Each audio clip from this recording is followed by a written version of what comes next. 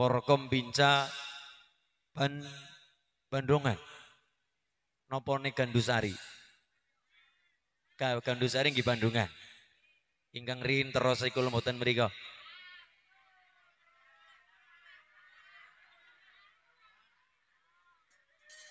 Mandrek senes kula mboten mriku jadwale sing boten enten.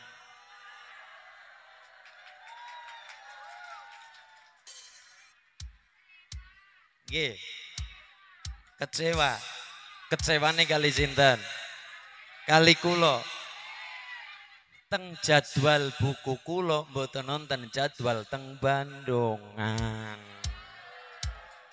Ngaten nggih. Kulo niki matur kersanipun kulo pribadi nggih ngono apa nggih mboten lega atine nek mboten matur kersanipun napa nggih sami-sami legane. Nggih. Nggih, ngaten. Kulo masulin mboten teng Gandusari, sanes mboten teng Gandusari, sanes mboten dugi. Memang jadwale sing mboten onten. Ngaten lho Bu. Nggih. Nggih. Sanes mboten siok cara gambile mboten rawu mboten sanes mboten sios rawu. Memang jadwale mboten onten teng gandu sari. Merganipun merganipun ngaten? Merganipun sami ndel-ndelan. Napa nek cara ndel-ndelan mriki? Nggih sami eh? Ndel-ndelan cara mriki wonten ndel-ndelan? Ah ngaten panitia nggih salah. Salahan niku panitia mboten salah. Wong sampun panggih kula teng Windusari. Ngaten le, mboten salah. Nyalahkan panitia mboten. Wong kula sing kedah lepat kula pangapunten kagem masyarakat Gandusari. Lepat kula pangapunten kagem masyarakat Salahan.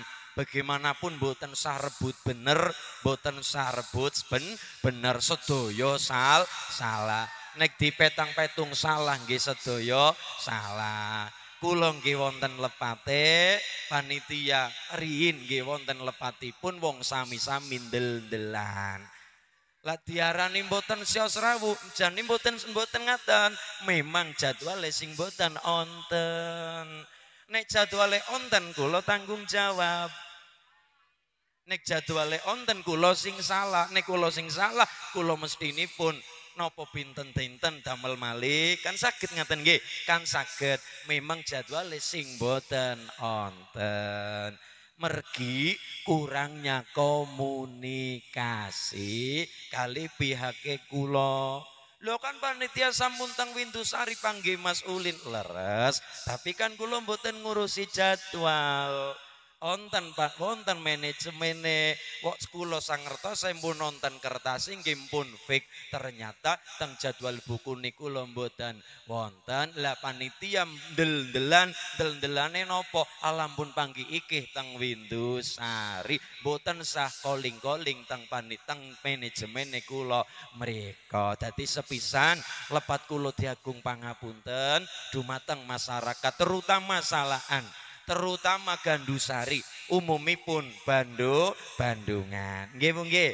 Nah kersanipun ben tidak ada fitnah di antara kit kita. Kula nggih legawa sampun matur nggih mugi-mugi panitia nggih legawa wong nyatanipun ngoten. Napa pun aslinya kita bikin acara lagi masulit sakit. Bensang kapan kulong bantu sepinten-sepinten perkara biaya mangke sakit damel mali acara pun kersani pun sami-sami lega kan ngaten sedaya sing penting wonten rembukan nggih napa nggih sedaya sing penting wonten rembu gane wonten omong sao omong. Dadi kula matur sedaya karena miskomunikasi kurangnya calling-calling. Mboten kedah mereka sih mboten kedah mereka yang penting wonten tel nopo komunikasi wonten HP wonten ngaten dados sedaya niku merga sami ndel-ndelan. Sepisan kula ngaturaken gunging pangapunten, lepat kula diagung pangapunten wontenipun krihin ketidaknyamanan atau terjadi fitnah antara ini itu dan sebagainya. Nggih nggih, dipangapunten nggih nggih. Lan ugi maturun sanget ugi dumateng warga masyarakat Bandungan apa tene salaan Gandusari tangga desa Palurang.